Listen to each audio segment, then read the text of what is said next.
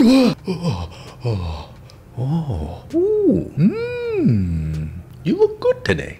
It's been a while since we looked at some art tips on Instagram, huh? no one is safe. Here's how I paint magical glowing creatures. I start by filling in their silhouettes with a light gold color, which Ooh. I oh. set to the hard light blending mode, and then I turn down the opacity. Next, I select the areas I want to be the most opaque, like the body. I use a soft airbrush to brush around the outside like this. Then I soften any weird hard edges and I add soft gradients of glow to the fins and the tails. I paint in some finer details using the lighter gold color. Next up is adding stars.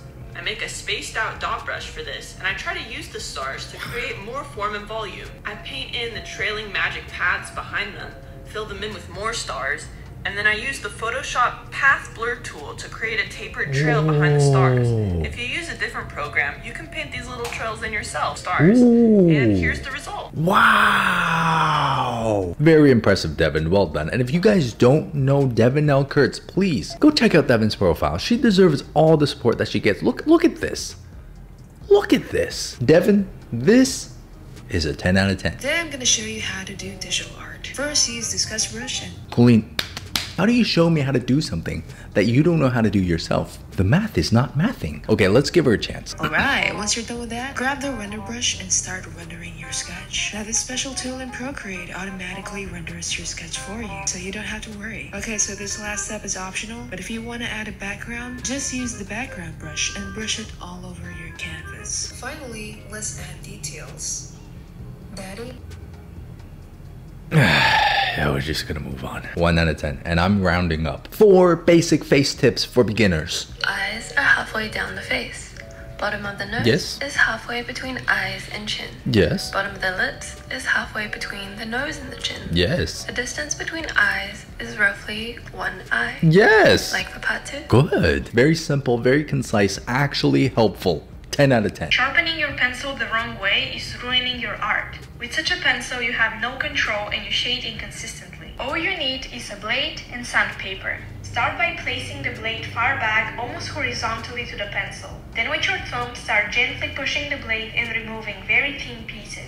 This takes me back. I used to do this so much as a young child. Also, keep rotating the pencil so you remove the wood evenly until you expose about a centimeter of the graphite. Ooh. Then get the sandpaper and That's place it on the edge of a surface so you can lay the pencil almost horizontally. Keep rotating and rubbing it against the surface until it looks like this. Lastly, sand the tip of the pencil so it's not sharp and it looks like a bullet. With such a pencil, you can shade faster with a consistent value and also achieve a variety of line thicknesses. The size matter. Back in the good old days when I did traditional art, this is exactly how we would sharpen our pencils. The sandpaper part seems a bit tedious, but I guess it does make the shape of your lead a little bit more precise. But I used to just kind of shave the whole thing away with a knife. That's cool though. 10 out of 10. Good job for spreading this information so that people can understand how to sharpen their pencils. Okay, guys, this is a nice way to shape. What Okay. you want to do is add your base color, Oh, pick your darker color, move in the hue, you sound like you're about to cry. Are you okay? take your tool, your lasso tool, draw out your shape. Yeah, draw a bunch of shapes. Okay. That's gonna be your shadows. Okay. Then pick your uh, Oh, your airbrush, uh. and then just start brushing it in, just brushing it in, just brushing it in. oh.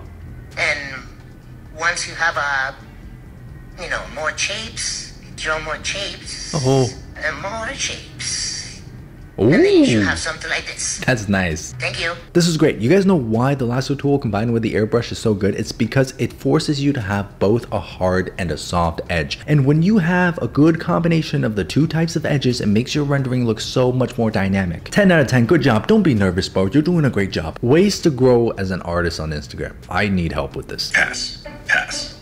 Pass. Smash.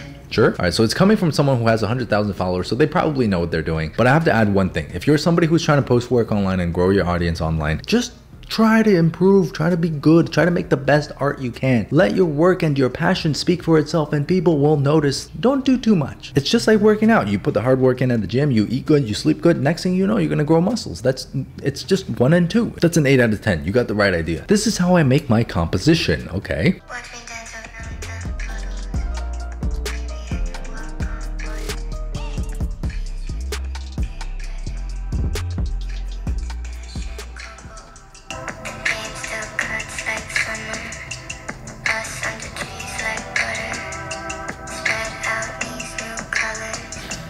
What? Where are these lines even? Dude, no way. Call me a conspiracy theorist, but doesn't it feel like some of these are just made up by people who are trying to confuse the younger artists? Like, bro, what am I looking at? What am I looking at? I'd prefer to use simpler methods, but hey, whatever floats your boat. If this works for you, it works for you. Here are some quick tips for how I like to pick my color palettes. Ooh, The first and most foundational tip is to limit your color palette to just cool or warm hues. Oh. Just by limiting yourself to one side of the color spectrum, you can get some really awesome results. If I want some more interesting contrast, I'll take a color and replace it from the opposing end of my palette. Okay. And that can add a really nice pop. So when picking palettes, play it safe with sticking with one end of the color spectrum or add visual interest with a contrasting color. Hope this Okay. helps you get started with your color palettes. Ooh, that's a nice skull. I like that. Okay, so I think she's coming from a position of doing more illustrative drawings, so things that are a little bit more graphic. So I definitely see why she said to stick to warm or cool to play it safe because there is probably a lot less color variation in this style. But if you're painting in like a semi-realistic style, just keep in mind that warms and cools are going to be present in almost every single scenario. Keyword almost, but for what you're talking about here, this is great. 8 out of 10. If why not to draw perspective? Start with a circle. Duplicate it and make it smaller. Keep repeating. Rotate 45 degrees. Duplicate and flip so you get this. One, two, three, four. Connect these points with a cross. Duplicate and rotate these crosses. Follow these lines oh. and draw all the buildings and add details. I mean, that's cool. That's a great tutorial on how to draw a perspective grid for a fisheye kind of lens. So good job. 10 out of 10. A hand tutorial that's actually easy. Oh my god, no. Oh no. Oh no.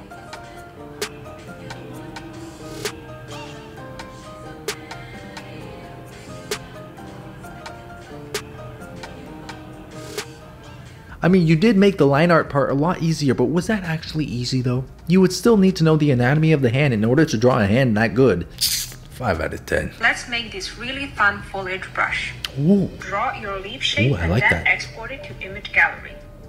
Then crop it. On your right, click the plus icon. Now in the shape menu, go to shape source and import leaf shape you made. In rendering menu, choose intense blending. Then in Apple Pencil, slide the opacity to zero. And increase spacing and jitter to get that feeling of separation and Ah. randomness between stems. Toggle all these options to make leaf brushstrokes feel organic. And finally, in the Color Dynamics menu, play with the settings to make your individual leaf stems different colors. That's cool. I work in Photoshop, so Procreate's brush creation stuff has always confused me, but I'm gonna try that out. That's cool. Dot is cute but not super expressive, so that's what we do. We can add the upper eyelids to show direction. Bottom eyelids, if you squish, will give an extra cute smile. Wow. You can erase from the inside of the eyes to make it look like glittery and happy. You can play again with the upper and the bottom eyelids together to make it squish together, or squish in the center to make them look frustrated. If you make the pupils even smaller, they'll look kind of scared, and you can use the outside of the eyes to accentuate that, or remove the pupil altogether, and then it looks really mad. Lots more examples in my book. Oh, you have a book. This is a great lesson on the power of simplicity. You can see a dot and a few lines, and you have a whole different expression for your character. 10 out of 10. This is amazing. How I make my art look more finished. Just finish it. Add multiply layer above your drawing. Fill it with a matching color. I'm using pink here. Erase the spots you want to highlight.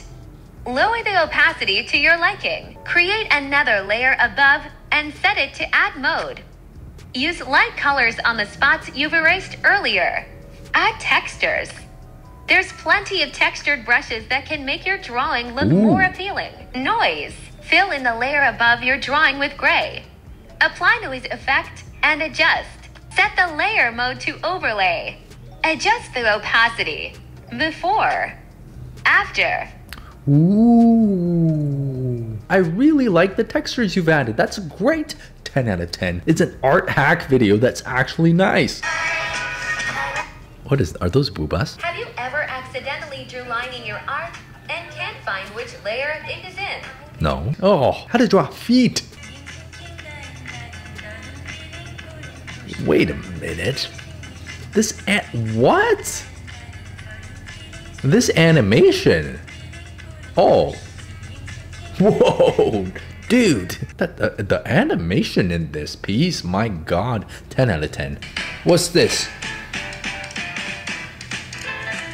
Oh, more feet. Okay. I really don't know why Instagram's recommending so many feet drawings to me now, but... Hmm the foreshortening on that. Wow. Wow.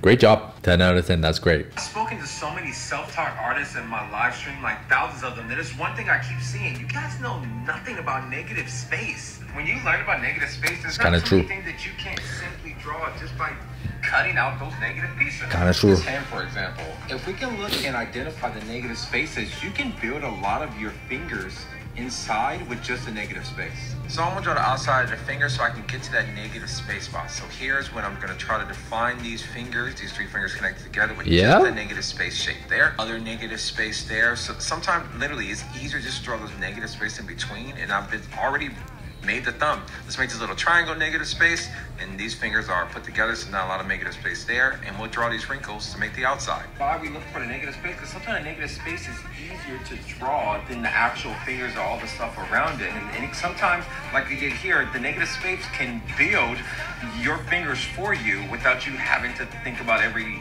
knuckles and nail and curve. Negative space is so underrated. If you're trying to draw something accurately, you have to take into account both the positive and negative space. And you did a really great job explaining it. 10 out of 10. That's fantastic. I've been getting a few comments on this video asking about my style, so here is a timeline of my journey. For reference, this is what my style used to look like, and this is what it looks like now.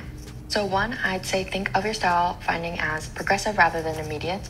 My style began with line art and colors, and now you can see I'm exploring backgrounds and composition. I did sketch requests, which I really recommend. If you take a look at my old sketch requests and then compare them to my more recent one, you can actually see development of my technical skill and also some style progression. So first, identify what do you consider a style? For me, I see it as both my line weight and what brushes I'm using for the drawing. After you figure out what you want to define your style, you should identify what you actually like. So, for example, while I was figuring out my style a lot more, I was thinking, hmm, I like the way the solid colors look here. I like how thick the line art is here. I don't like the glowy effect I added here. And finally, you can summarize my tips into two categories, which is practicing and then identifying. But there's not really an order of how to do it. It's more like a cycle. If you're stuck identifying, then practice. And if you're struggling with motivation to practice, then identify what you would like about your art. That's a lot of information there, but that's really good information. Give that a 10 out of 10. Really good job. I feel like almost every video we watched was a 10 out of 10 Instagram. Good job. Maybe we can survive after they ban TikTok. Just as a piece of advice to anybody looking for their style, no rush. Please don't rush. Like she said in this video, it's a progression. It's not immediate. You can't just say, I want this style, so I'm gonna get this style. It doesn't happen like that. It happens over many pieces, probably hundreds of pieces, and then you start to slowly develop this language, this visual language that you like to communicate with. Anyways, guys, so those are some art tips from Instagram, like really good ones too. I feel like I actually learned something today. Hopefully you guys feel the same. Go give some love and support to the artists in this video. They're doing a great job on Instagram. And like this video, subscribe, share it with a friend who needs psychiatric assistance. And I'll see you guys on the next video. Okay, now that most people have left, we're gonna do some uh, some poses for the thumbnail. we're gonna do uh, what should we do? All right, we're gonna be like, oh, oh, oh, oh, oh, oh. Okay, all right. Imagine somebody who just skips all the way to the end of this video and just sees that. I'd be horrified.